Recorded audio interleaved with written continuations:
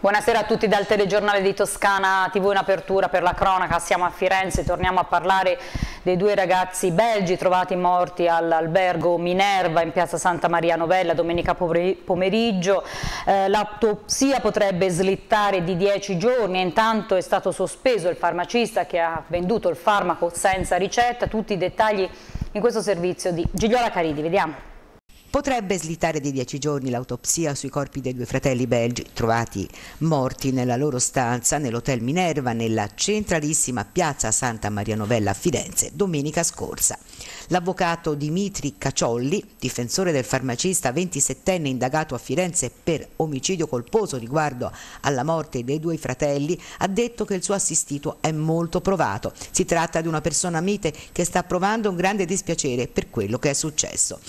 Il farmacista è colui che ha venduto senza ricetta due scatole di un potente analgesico a base di oppioidi l'oxicodone cloridato ingerito in 42 pasticche insieme a birra e altri alcolici, un mix che avrebbe causato i due decessi, circostanza da stabilire con l'autopsia. Tuttavia la stessa autopsia prevista dal PM Giacomo Pestelli domani potrebbe slittare perché lo stesso avvocato Caciolli ha presentato al GIP una riserva di incidente probatorio a cui eventualmente farà seguito la vera e propria richiesta. Secondo quanto spiegato, se effettuata in incidente probatorio l'autopsia potrebbe slittare di circa 10 giorni. In questo caso infatti a eseguirla sarebbe un medico legale incaricato dal giudice giudice e non dal PM Pestelli. Intanto Secondo quanto si apprende, al farmacista è stato notificato il provvedimento disciplinare di sospensione dal lavoro da parte della proprietà della farmacia, dove il 27enne è dipendente. La Corte d'Appello di Firenze ha condannato a sei mesi di reclusione, pena sospesa l'ex procuratore generale di Firenze Beniamino Deidda imputato di aver rivelato segreti di ufficio e di accesso abusivo ai sistemi informatici. Stessa pena per gli altri due eh, coimputati, il dirigente all'epoca dei fatti della ASL 10 di Firenze, Giuseppe Petrioli, e l'ex assistente eh, giudiziaria di Deidda, Monica Di Laghi. Il processo di appello è stato celebrato dopo la decisione della Cassazione che nel luglio del 2018 aveva annullato la sentenza di assoluzione pronunciata dai giudici di secondo grado, rinviando per un un nuovo processo di secondo grado. E torniamo a parlare delle Olimpiadi, Firenze e Bologna, se ne è parlato oggi in un convegno, in una tavola rotonda, Olimpiadi del 2032, un sogno a cui credere. Vittorio Betti.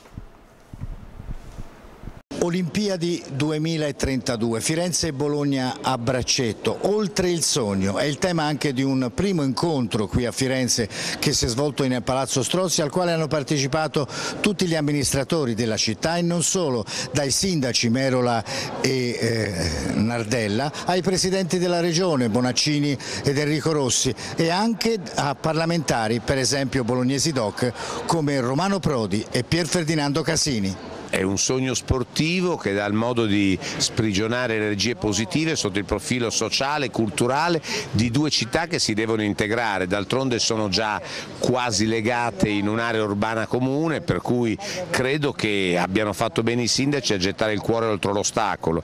Io ho studiato attentamente il problema e mm, ho in testa delle ipotesi abbastanza diverse da quelle comuni per trasformare il sogno in realtà. Questa è la cosa. No? L'Olimpiade ha una dimensione enorme e quindi bisogna avere un'organizzazione che sia capace di fare un progetto del genere. È un sogno, ma come ci insegnano i grandi padri della nostra città, senza sogni non si commette, non si fa neanche un primo passo.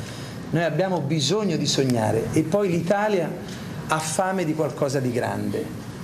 Non è vero che i grandi eventi portano disgrazie, guardate quello che è successo a Milano con l'Expo. Uh, se si gestiscono bene i grandi eventi possono essere un volano straordinario di sviluppo e di crescita. Queste le parole di, del sindaco di Firenze Dario Nardella. Per il presidente della regione toscana Enrico Rossi comunque c'è molto da lavorare, soprattutto sul fronte delle infrastrutture, sulla viabilità e i trasporti. Ma i suoi bisogna stare attenti che non diventino incubi no? e quindi bisogna mettere le cose in linea.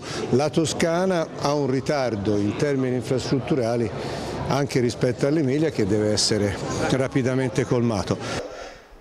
E proprio di infrastrutture e di carenza di infrastrutture si è parlato oggi eh, sempre a Firenze, ci racconta tutto Rachele Campi oltre 5,4 miliardi di euro. Questo è quanto la Regione ha investito di risorse proprie tra il 2014 e il 2019 per le infrastrutture e la mobilità. In tutto però per dotare la Toscana di un sistema infrastrutturale di trasporti adeguato sono già programmati 13 miliardi di investimenti infrastrutturali riferiti quasi esclusivamente ad opere di competenza nazionale. Di questi 13 miliardi solo 5,5 sono stati effettivamente utilizzati ma devono essere ancora realizzati interventi per un valore di 7,6 miliardi miliardi. Sì, noi rivendichiamo il fatto di avere fatto una grande cura del ferro, sia con le linee regionali dove pure abbiamo investito, abbiamo investito sia per avere nuove linee, raddoppiarle e abbiamo investito anche per avere nuovi vagoni, nuovo materiale rotabile.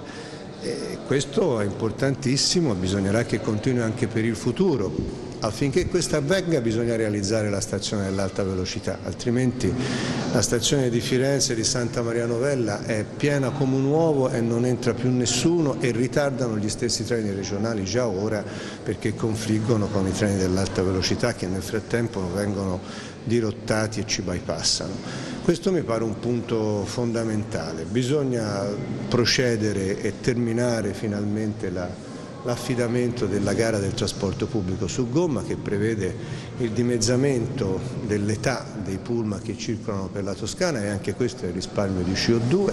La dotazione infrastrutturale della Toscana che deve migliorare, che si deve qualificare, deve servire anche a riconnettere le tre Toscane, vale a dire la Toscana eh, quella eh, metropolitana, quella più antropizzata, quella più infrastrutturata, quella che ha retto meglio alla crisi che produce eh, la maggior parte del nostro PIL che è quella lungo l'asta dell'Arno con la Toscana della costa che ha grandissime potenzialità legate ovviamente allo sviluppo eh, dei porti e al turismo e quella delle aree interne che anch'esse hanno bisogno di una forte attenzione, di una connessione con il capoluogo regionale e, e, e, e eh, di tutti i microsistemi tra, tra di loro. Oggi è stato sospeso un arbitro, siamo a Firenze, perché durante un match di tennis ha usato parole e frasi moleste verso una ragazza che stava raccattando le palle, tutti i dettagli, Caterina Gonnelli. Sei fantastica, sei molto sexy. Parole rivolte da un arbitro ad una minorenne raccattapalle nel corso di un torneo ATP al Circolo del Tennis 1898 di Firenze, uno dei più antichi e rinomati d'Italia. Le molestie andate avanti per tutto il match sono documentate anche da un video con sonoro. Sull'episodio riportato oggi dal Tirreno, l'ATP, dopo aver sospeso l'arbitro Gianluca Moscarella, ha avviato un'inchiesta interna. L'arbitro avrebbe detto anche altre frasi allusive, mettendo la minorenne in evidente imbarazzo e avrebbe tenuto un atteggiamento poco professionale anche durante il match, che vedeva contrapposti Pedro Sousa e Enrico Dalla Valle, incitando Sousa a chiudere rapidamente la partita. Dell'accaduto sarebbe stata informata la scuola della ragazzina, un liceo privato privato di Firenze, col quale il Circolo ha attivato un progetto scuola lavoro, in modo che possa essere informata la famiglia che deciderà se presentare denuncia o meno. E ora andiamo a Pisa, distacco di una piccola porzione di intonaco all'interno di un'aula di, di, un asilo nido. L'incidente è avvenuto la notte scorsa, la struttura è stata chiusa e senza che fossero presenti bambini e personale. Lo rende noto il comune che già in mattinata però eh, è intervenuto per fare eh, dei eh, lavori. E andiamo a Prato, vive in un alloggio popolare con i sussidi del comune, il reddito di cittadinanza, ma in casa nasconde 5 kg di hashish. La donna è stata arrestata dai carabinieri. Nadia Tarantino. Spacciava hashish ai ragazzi, in larga parte studenti, 5-6 euro per un grammo, ma i clienti erano davvero tanti a giudicare dalla quantità che è stata trovata e sequestrata dai carabinieri. 4 kg e 700 grammi, valore circa 25 mila euro. Il pusher finito in manette è una donna italiana di 53 anni, pregiudicata, vedova, residente alle case popolari di via di Turchia, in carico ai servizi sociali e da tempo titolare anche del reddito di cittadinanza che arrotondava vendendo droga droga. Sono stati i carabinieri di Iolo a intervenire ieri. Per giorni sono stati seguiti i movimenti della spacciatrice e dei giovani che si rivolgevano a lei per fare scorta di stupefacente e ai quali spesso veniva dato appuntamento direttamente a casa. I clienti erano giovani anche perché prevalentemente questo tipo di, di droga si presta per una, una clientela che non, non, ha una fascia di età elevata e prevalentemente anche in questo periodo dell'anno che coincide con la ripresa delle, delle scuole. La droga contenuta in un involucro è stata trovata sopra un armadio, panetti di hashish con tutto l'occorrente per confezionare le dosi, 2400 euro in contanti contanti e un telefonino. Questo hanno sequestrato i carabinieri. Tutto lo stupefacente era contenuto all'interno dell'involucro. Riteniamo che si, si girasse eh, intorno a um, 15 kg di, eh, di, capienza. Il materiale sintetico di cui è fatto l'involucro, eh, nonché il, la, il confezionamento sottovuoto e mm, consentiva di eludere anche il, il fiuto dei, dei, cani antidroga. La 53enne che è stata messa agli arresti domiciliari deve rispondere di detenzione ai fini di spaccio di sostanza stupefacente. Le indagini non sono finite. Il sospetto è che la donna non fosse sola ad occuparsi dello spaccio di hashish. Sono in atto tutta quella serie di attività tecniche e di accertamenti specialistici per eh, tentare di, di risalire ad un livello superiore e quindi di comprendere meglio qual era la dinamica criminale che c'era dietro questo grosso quantitativo di droga. Al via alla card del Fiorentino, già centinaia quelle vendute. Chiara Valentini.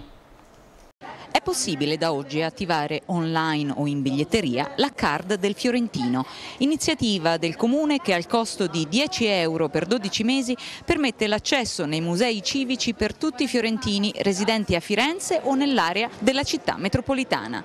Il pass è nominativo e oltre ad ingressi illimitati nei musei civici comprende tre visite guidate negli spazi museali e culturali del Comune di Firenze. C'è un tema fondamentale alla base di questo, di questo strumento, di questa card ed è semplicemente riavvicinare il più possibile, riallacciare il più possibile il rapporto tra patrimonio civico museale e i cittadini della nostra Firenze è, è molto semplice, con gli strumenti semplificati, cioè 10 euro, una tantum, la gente torna volentieri nei musei. Dal punto di vista amministrativo si parla di via sperimentale perché ovviamente è quello che ci permettono gli atti. Io non nascondo che se, come credo, la CARD avrà successo e se i fiorentini risponderanno in maniera positiva porrò il tema ovviamente all'attenzione degli organi competenti e cercherò di mantenere questa misura come misura stabile. Credo che Firenze abbia bisogno di questo incentivo, i fiorentini e i nostri concittadini abbiano bisogno di sentire la, dire, la, possibilità di avere un passaporto culturale in tasca. Ogni volta che voglio entrare in Palazzo Vecchio esibisco la mia card e accedo, così come con Palazzo Vecchio e con tutti gli altri musei. Alla presentazione, insieme all'assessore alla cultura Tommaso Sacchi, c'era anche la giovane atleta Larissa Iapechino, una delle ambasciatrici della bellezza di Firenze nel mondo. Io, vabbè, essendo sportiva e studentessa, non avendo moltissimo tempo, ecco, magari difficilmente riuscivo a ritagliare del tempo per queste cose qui, però questo forse è un incentivo a, ad appassionarmi ancora di più. Restiamo a Firenze, torniamo a parlare del cinema Fulgor, chiuso, doveva essere ristrutturato e i lavori sono ancora fermi e ora il Comune ha deciso di, di, eh, di convocare eh, la proprietà per sollecitare comunque eh, qualcosa per la struttura. Vediamo. Sul Fulgor la proprietà eh, è da anni che cerca varie soluzioni per riaprire quei locali, ma in realtà fino ad oggi poi non, non è andata a buon fine nessuna di queste soluzioni eh, che stava cercando di percorrere. Questo non per cause ovviamente dipendenti dall'amministrazione comunale, che siamo sempre stati a disposizione per cercare di capire quali erano le intenzioni della proprietà. Eh, a questo punto incontreremo la proprietà nelle prossime settimane con i suoi tecnici e cercheremo veramente di spronarli per arrivare a chiudere una partita che tutto il quartiere aspetta, che tutta la città aspetta. In, quella, eh, in quell'edificio vige la norma salva cinema, per cui per il 60% dovrà per forza rimanere eh, adibito a sala cinematografica e quindi queste sono eh, le regole e a queste dovrà tenersi la proprietà, salvo che non voglia a quel punto vendere. Codice giallo su tutta la Toscana dalla mezzanotte di oggi alla mezzanotte di domani. Eh, ci sarà una, un graduale calo eh, di pressione, quindi con l'avvicinamento di una perturbazione, quindi maltempo e l'allerta riguarda eh, l'arrivo di eh, forti temporali. A proposito di forti temporali e di allerta, ieri abbiamo parlato di una esercitazione eh, dell'Unione Europea, quindi internazionale, e diciamo che sia i piani eh, della protezione civile che le esercitazioni sono importanti, ma soprattutto è importante il sistema di, di una, un sistema di allerta efficace. Vediamo. Sicuramente valide nella misura in cui ci siano presenti dei sistemi di allertamento con la dovuta anticipazione. Teniamo conto che se sono sull'anno l'anticipazione minima è 12-24 ore e anche 48, per cui purché ci siano sistemi di comunicazione efficaci, il problema di pericolo non sussiste. Se fosse sui torrenti sarebbe un po' diverso. E ora andiamo al quartiere fiorentino delle Piagge dove è stata inaugurata un'area fitness. Vediamo.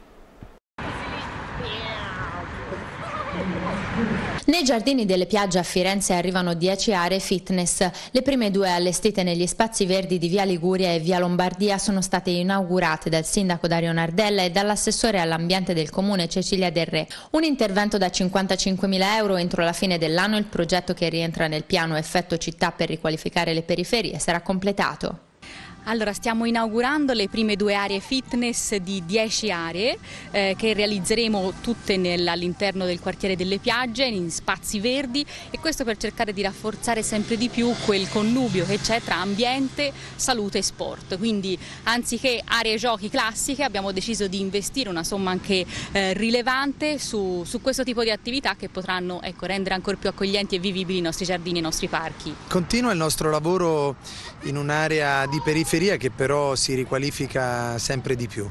Eh, un milione di euro di progetti che riguardano l'arredo urbano, il verde pubblico, aree fitness e giochi come quella alle mie spalle e luoghi di eh, socialità e di vita pubblica. Eh, credo che sia questo il modo migliore per fare delle piagge un quartiere davvero vivibile in attesa dell'arrivo della nuova tranvia. E ottobre è il mese dell'affido familiare, arrivato alla settima edizione.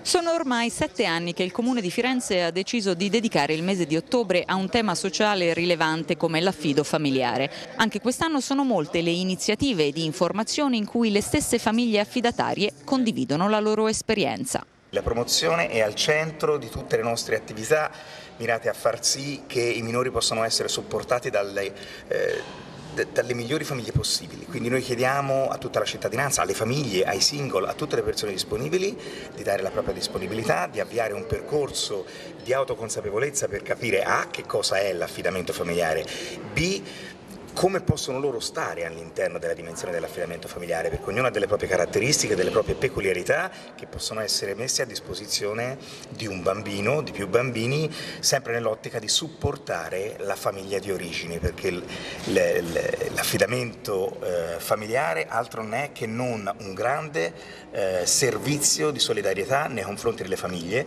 È un servizio flessibile che può essere cucito addosso alle esigenze dei protagonisti con varie modalità in base al tempo tempo che si può dedicare full time, part time, diurno e consentendo a tutti di essere genitori affidatari, single, coppie o famiglie. È un'iniziativa che sta dando buoni risultati eh, proprio dal punto di vista dello scopo che si era prefissata, ovvero la eh, tutela del minore e, e, la crescita del minore. Credo che in questi anni, questa è la settima edizione eh, del mese dell'affido, il mese dell'affido sia servito come grande occasione di apertura alla cittadinanza, grande occasione di coinvolgimento nella cittadinanza rispetto a, a questo tipo di attività attraverso informazione e formazione. E ora parliamo di luoghi medievali, andiamo a Pistoia, è stato firmato un accordo, ci racconta tutto Patrizio Ceccarelli. Va in archivio con un risultato concreto e positivo la due giorni di Pistoia dedicata ai luoghi medievali alla quale hanno preso parte gli amministratori di una ventina di comuni di nove regioni italiane in cui si svolgono rievocazioni storiche che affondano le loro radici nel Medioevo. È stato infatti sottoscritto il preliminare di un accordo che prevede la realizzazione di un calendario comune delle varie manifestazioni da mettere in rete a beneficio dei tanti turisti italiani e stranieri stranieri appassionati di questo genere di eventi. L'incontro di Pistoia ha avuto anche momenti di spettacolo come il corteo in costumi medievali che ha sfilato per le vie del centro storico culminando in piazza Duomo con l'esibizione degli sbandieratori della Compagnia dell'Orso di Pistoia. Sì, una grande soddisfazione, sono presenti tanti amministratori da Trento fino a Marsala con la presenza del sindaco appunto siciliano dove abbiamo lavorato per creare un calendario eventi e creare una rete di comuni medievali aperta aperta perché chi vorrà inserirsi lo potrà sicuramente fare nei prossimi mesi per dare a un turista italiano o estero la possibilità di scegliere secondo il proprio periodo di vacanza dove andare e cosa trovare nei luoghi medievali. È ovvio che questo deve servire anche fra di noi di scambio culturale, eh, di collaborazione, cultura, gastronomia e tradizioni soprattutto di tutti i luoghi medievali. Un bilancio assolutamente positivo, cresciamo in numero di comuni partecipanti, di luoghi medievali eccellenti, da quattro regioni a ben otto regioni, quindi abbiamo un'esposizione nazionale, 16 comuni eccellenti, 4 dalla Toscana, altri provenienti da, dal Trentino fino alla Sicilia con, con Marsala, quindi un potenziale protocollo d'intesa tra luoghi medievali eccellenti e con tante delegazioni che adesso tra poco sfileranno in Piazza del Duomo. Restiamo in provincia di Pistoia perché la fattoria di Celle è stata giudicata il parco privato, è stato giudicato il parco privato più bello d'Italia. La fattoria di Celle di San Tomato in provincia di Pistoia si è aggiudicata il premio Il parco più bello d'Italia. La villa del XV secolo, attorniata da un grande appezzamento verde pieno di opere d'arte di proprietà dell'imprenditore pratese Giuliano Gori, si è aggiudicata il premio per la categoria parchi privati, mentre la sezione parchi pubblici ha visto prevalere i giardini della Venaria Reale di Torino. Al suo interno il parco della fattoria di Celle conserva una collezione collezione di arte ambientale riconosciuta a livello internazionale, voluta dalla famiglia Gori con il preciso intento di sperimentare un nuovo tipo di partecipazione nella creatività contemporanea. La collezione Gori, nata senza modelli di riferimento, è divenuta poi un esempio per tante altre realtà in Italia e all'estero. Conta oggi 80 installazioni tra opere nel parco e all'interno degli edifici storici. Ogni anno ospita appassionati d'arte, musei, istituzioni di tutto il mondo. Per la selezione dei vincitori il Comitato Scientifico ha valutato i parametri previsti dal regolamento del concorso, l'interesse storico-artistico e botanico, lo stato di conservazione, gli aspetti connessi con la gestione, la manutenzione, l'accessibilità, la presenza di servizi, le relazioni con il pubblico e la promozione turistica. Il Parco più bello è un concorso nazionale che ha proprio lo scopo di valorizzare l'inestimabile patrimonio di parchi e giardini presenti nella nostra penisola, contribuendo a stimolare l'interesse e la sensibilità verso il verde nelle sue forme più alte. Al concorso partecipano tutti i parchi affiliati al network ilparcopiubello.it che ad oggi sono oltre mille. Io mi fermo qui, grazie per averci seguito, vi lascio a Massimiliano Martini per lo sport, arrivederci.